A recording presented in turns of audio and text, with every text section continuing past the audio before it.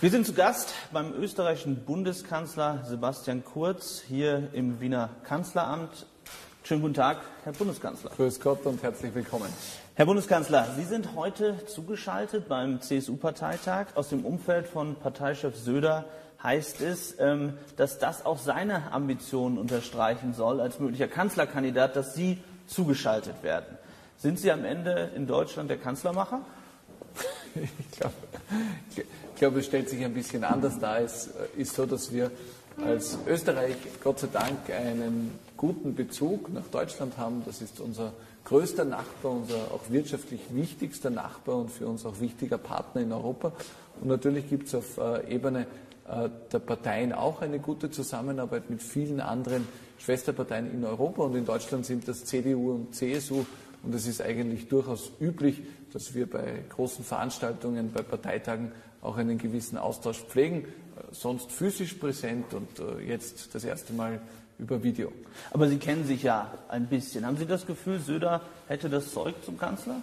Also ich kenne den Markus Söder und ich schätze ihn sehr. Wir arbeiten sehr gut zusammen und mein Eindruck ist, dass sein voller Fokus ähm, im Moment der gleiche ist wie bei mir, bei Angela Merkel, bei allen anderen. Das ist mein Eindruck ein anderer. Ich glaube schon, dass er sehr auf das Kanzleramt schaut. Einen Fokus auf die Bewältigung der Corona-Krise gibt und wie die Debatten in Deutschland ausgehen über die Nachfolge in der CDU, äh, das ist etwas, da mischen wir uns aus Österreich nicht ein. Aber noch einmal, von Ihrem Blick von außen, wie sehr unterscheidet sich Markus Söder von Kanzlerin Angela Merkel, die Sie auch lange kennen? Ich glaube, es sind sehr unterschiedliche Charaktere, ähm, beide mit äh, klaren bürgerlichen Wertehaltungen, äh, aber natürlich andere Persönlichkeiten. Und äh, für uns als Österreich ist es gut, viele Ansprechpartner zu haben, Personen, die in Deutschland in Verantwortung sind, mit denen wir eine gute Gesprächsbasis haben, von Markus Söder über Jens Spahn bis hin zu Angela Merkel, ähm, gibt es eine gute Zusammenarbeit. Die Bayern sind unsere unmittelbaren Nachbarn, Deutschland unser Nachbarland. Äh, wir arbeiten gut zusammen und das freut mich. Trauen Sie ihm das zu, dass er nach dem Kanzleramt greift? Ich weiß schon, welche äh, Überschriften ähm, da für die Bildzeitung von morgen. Nein, für die Konservativen in Deutschland, glaube ich, ist es sehr interessant zu hören, was sozusagen Ihr Blick darauf ist, weil, wenn wir uns anschauen, die letzten Wochen, Monate, Markus Söder hat immer gesagt, er orientiert sich an Österreich und häufig ähm, hat er auch verlauten lassen, dass er sich sehr an Ihnen orientiert. Wir haben uns immer gut abgestimmt. Ich habe auch äh, mit ihm und mit Jens Spahn natürlich von Beginn der Krise einen engen Kontakt gepflegt weil es für uns natürlich interessant war äh, zu wissen, wie reagiert unser wichtigstes Nachbarland darauf, welche Maßnahmen müssen wir setzen. Teilweise war es so, dass wir ein bisschen früher dran waren. Aufgrund unserer Nähe zu Italien waren wir früher betroffen als andere europäische Länder. Und natürlich haben wir Erfahrungen ausgetauscht. Das heißt, Sie trauen ihm das Kanzleramt zu? Ich traue dem Markus Söder alles zu, weil er ein sehr erfolgreicher Politiker ist und äh, Bayern sehr gut führt. Aber in der Frage, wer soll CDU-Chef werden, in der Frage, wer soll nächster deutscher Kanzler werden, da mische ich mich nicht ein und da werden Sie von mir auch keine Aussage erhalten. Das Aber dass Sie ihm alles zutrauen, ist ja auch schon eine Aussage. Ich kenne ihn, ich schätze ihn, ich schätze unsere Zusammenarbeit, aber bitte um Verständnis, dass ich mich in die Frage, wer die CDU führen soll und auch in die Frage, wer als nächster deutscher Kanzlerkandidat kandidieren soll, nicht einmische. Und das Wichtigste ist, Deutschland ist für Österreich eine Demokratie. Am Ende entscheiden nicht die Parteien, am Ende entscheiden die Wählerinnen und Wähler. Und das ist auch gut so. Massiv verärgert wiederum, kann man sagen, haben Sie die deutsche Bundeskanzlerin in den vergangenen Tagen mit ihrer Ablehnung des 500 Milliarden Pakets, das sie zusammen mit dem französischen Staatspräsidenten Emmanuel Macron geschnürt hat. Erklären Sie uns, warum sind Sie dagegen? Also ich glaube nicht, dass wir wen massiv verärgert haben, sondern ganz im Gegenteil. Es gibt einen Diskussionsprozess auf europäischer Ebene, der ist meiner Meinung nach gut aufgesetzt. Der wird von Ursula von der Leyen geleitet. Sie ist in Kontakt mit allen Regierungschefs, selber mehrfach mit ihr telefoniert. Und wie immer muss auf europäischer Ebene immer ein Kompromiss am Ende gelingen. Und bevor es dieses Ende gibt, bevor es einen Abschluss gibt, bevor es den fertigen Kompromiss gibt, gibt es eine Meinungsfindung. Ich finde, dass Ursula von der Leyen das extrem gut macht, das Gespräch mit allen sucht, versucht, die unterschiedlichen Zugänge auch ähm, zu berücksichtigen. Und es ist legitim, dass Deutschland und Frankreich gemeinsam einen Vorschlag unterbracht haben. Das sind zwei Länder, sind zwei sehr große Länder, sind zwei Länder, wo es auch nachvollziehbar ist, wenn die sich zusammentun, dass sie einen Führungsanspruch in der Europäischen Union haben. Aber am Ende gibt es 27 am Tisch und da wird es ja wohl in Ordnung sein, dass auch andere Länder eine Meinung dazu haben. Aber was Fall ist Ihre Meinung? Befürchten Sie, dass die Eurobonds durch die Hintertür sozusagen eingeführt werden sollen? Naja, wir sind dafür, dass geholfen wird. Wir wollen solidarisch sein mit Ländern, die stark von der Krise betroffen sind. Wir wollen aber, dass es zeitlich befristet ist, diese Hilfe, und dass diese zeitliche Befristung auch sicherstellt, dass es nicht zu einer Schuldenunion durch die Hintertür kommt. Das wollen wir nicht. Also haben Sie Angst äh, vor den Eurobonds am Ende? Die Eurobonds sind ja auch immer von Angela Merkel abgelehnt worden. Also ich glaube, dass es ähm, mehrere Regierungschefs gibt, die Eurobonds und eine Schuldenunion extrem skeptisch sehen. Ich glaube nicht, dass das die richtige Antwort auf die Corona-Krise ist, sondern was wir jetzt brauchen, ist schnelle, rasche Hilfe für die betroffenen Länder, auch Liquidität für Staaten, die am Kapitalmarkt mehr und mehr Probleme bekommen. Aber eine Schuldenunion, das lehnen wir ab. Sie haben es angesprochen, die Kanzlerin hat ähm, 2012 war es, glaube ich, selbst gesagt, dass ähm, sie Eurobonds ablehnt, dass das nicht kommen wird. Haben Sie das Gefühl, dass dieses Wort noch steht, wenn. Sie mit ihr sprechen? In der letzten ähm, Runde, die ich mit ihr hatte, hat sie das auch gesagt. Und wenn wir jetzt auf Europa schauen, auf Griechenland, Spanien, Italien zum Beispiel, haben Sie Sorge, ähm, dass am Ende es wieder zu einer massiven Euro-Krise kommen könnte, wenn man jetzt eben nicht schnell hilft? Ich glaube, die schnelle Hilfe ist wichtig, aber es ist schon auch immer die Frage, wie hilft man richtig und kommt die Hilfe an? Ähm, wenn wir als Europäische Union so viel Geld in die Hand nehmen, wie das derzeit geplant ist, und noch einmal, ich unterstütze da das Vorgehen der Kommissionspräsidentin, dann ist es wichtig, dass das Geld richtig investiert wird. Dass in Digitalisierung fließt, in Ökologisierung, dass wir unsere Wirtschaft wieder beleben. Aber es müssen natürlich in den Ländern, die bisher schon Probleme hatten, ihr Budget unter Kontrolle zu halten, notwendige Reformen stattfinden. Ich glaube, der Spruch, spare in der Zeit, dann hast du in der Not, der ist durch die Corona-Krise noch einmal offensichtlicher geworden. Und ich bin froh, dass es Länder gibt wie Deutschland oder wie Österreich, die in den letzten Jahren ihre Budgets unter Kontrolle hatten, sogar einen Budgetüberschuss erzielt haben und sich jetzt leichter tun, auch der Bevölkerung und den Unternehmen zu helfen in dieser Zeit der Krise. Und äh, jetzt ist Hilfe auch für die anderen Länder, die nicht so gut dastehen, wichtig, aber wir sollten nicht vergessen, dass schon auch wieder eine Zeit nach der Krise kommt und da müssen die Budgets unter Kontrolle gebracht werden. Da müssen strukturelle Probleme aufgearbeitet werden. Ähm, sonst ähm, ja, ist für die Not nicht viel da, wenn man auch in der Zeit zu viel ausgibt. Sie haben gerade schon die EU-Kommissionspräsidentin Ursula von der Leyen angesprochen. Jetzt hat heute ähm, im Spiegel Horst Seehofer, der deutsche Innenminister, sich maximal scharf über, die, äh, über sie geäußert. Er sei enttäuscht, müsse sich insbesondere beim Thema Flüchtlinge um alles selbst kümmern. Teilen Sie diese Kritik an Ursula von der Leyen?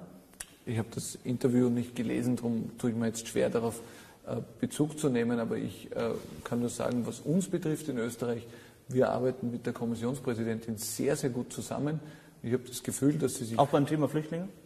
In allen Themen habe ich den Eindruck, dass sie einen Führungsanspruch hat und das ist gut so als Kommissionspräsidentin, dass sie aber gleichzeitig versucht, alle einzubinden und mit allen Regierungschefs, ganz, groß, ob ganz gleich ob groß oder kleines Land, zu sprechen und Kompromisse zu finden, so wie das auch im europäischen Geist eigentlich äh, sein sollte.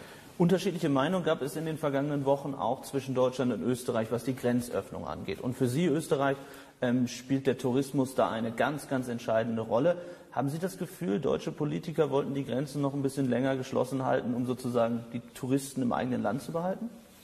Ich weiß nicht, was die Motivation war, aber es war schon ein schwieriger Verhandlungsprozess, das gebe ich zu. Ähm, wir haben in Österreich sehr schnell gesehen, dass die Maßnahmen des Lockdowns wirken, dass die Ansteckungszahlen zurückgehen. Und wir waren immer der Meinung, sobald die Sicherheitssituation in zwei benachbarten Ländern gut ist und sogar gleich gut ist, sollte auch der freie Reiseverkehr wieder möglich sein. Wir haben sehr viele Menschen, die im Grenzbereich leben, die einfach darunter leiden, dass sie nicht gut an ihren Arbeitsplatz kommen. Wir äh, haben Menschen, ähm, da lebt die Familie auf der anderen Seite der Grenze und für die war das schwierig, ähm, auf der einen Seite zu arbeiten und auf der anderen Seite die Familie zu treffen. Und auch aufgrund dieser persönlichen Schicksale war es uns einfach wichtig, hier rasch eine Lösung zustande zu bringen. Ich verheimliche nicht, dass uns eine noch frühere Grenzöffnung recht gewesen wäre, aber am Ende ist das Ergebnis ein gutes.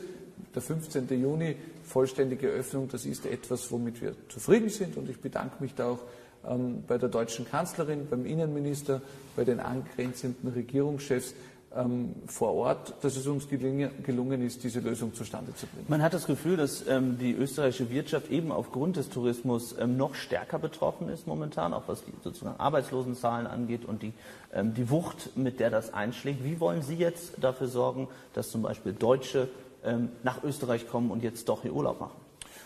Ja, ich glaube, dass Österreich grundsätzlich schon immer viel zu bieten hatte. Ähm, wir sind ein wunderschönes Land ähm, mit einer ja, sehr beeindruckenden äh, Bergwelt, die man, glaube ich, gerade im Sommer äh, sehr genießen kann. Die Berge, die Seen, viele Menschen aus aller Welt kommen gern nach Österreich, um ihren äh, Urlaub zu verbringen. Ich glaube, mir sitzt jemand gegenüber, der auch gerne seine Urlaube in Österreich verbringt und insofern sind wir da sehr optimistisch. Aber was wir natürlich zusätzlich getan haben, ist, wir wollen ja in unserem eigenen Interesse, aber auch im Interesse unserer Gäste, dass der Urlaub maximal sicher stattfinden kann. Und neben all den Regeln, die es gibt, von Abstand halten und Desinfektion äh, und Regeln für die Restaurants, ähm, die, glaube ich, sehr durchdacht sind in unserem Land, haben wir uns dazu entschlossen, dass wir die Mitarbeiterinnen und Mitarbeiter, die direkt am Gast arbeiten, also vor allem die Servicemitarbeiter, die Kellnerinnen und Kellner, dass die in einer gewissen Regelmäßigkeit in Österreich auch getestet werden.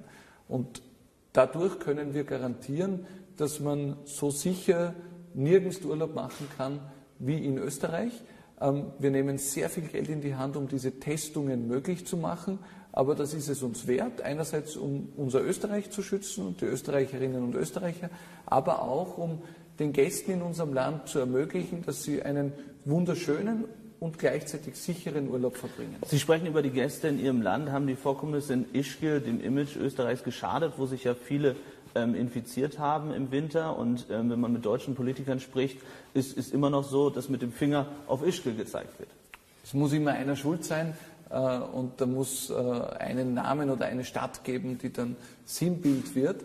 Ähm, das ist oftmals so, aber ich glaube, jeder, der sich mit äh, dieser Erkrankung ein bisschen auseinandergesetzt hat, jeder, der die letzten Wochen mitverfolgt hat, der weiß ja, wir haben eine weltweite Pandemie.